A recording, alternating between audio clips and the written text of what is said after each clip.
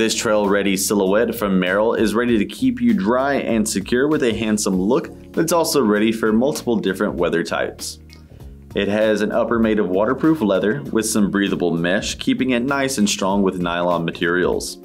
There's abrasion resistant material across the toe as well to keep these looking fresh, and that lace up is a large corded design that has metal eyelets for a more secure customized fit. There's a metal D-ring gaiter loop for extra attachments at the front, and the gusseted tongue is sure to keep out any trail debris. The inside is made with 200 grams of lightweight insulation. It's going to keep you energized and cozy when you need it. The footbed in the bottom is made with the Kinetic Fit base contoured shape to give you great support and cushioning into every step.